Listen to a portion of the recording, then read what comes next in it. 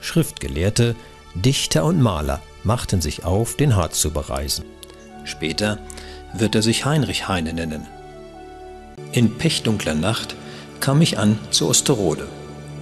Ein Steiger, nachdem er sein Grubenlicht angezündet, führt ihn nach einer dunklen Öffnung.